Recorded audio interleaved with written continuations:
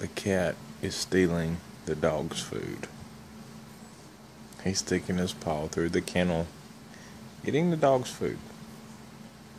Pretty slick. And here he comes.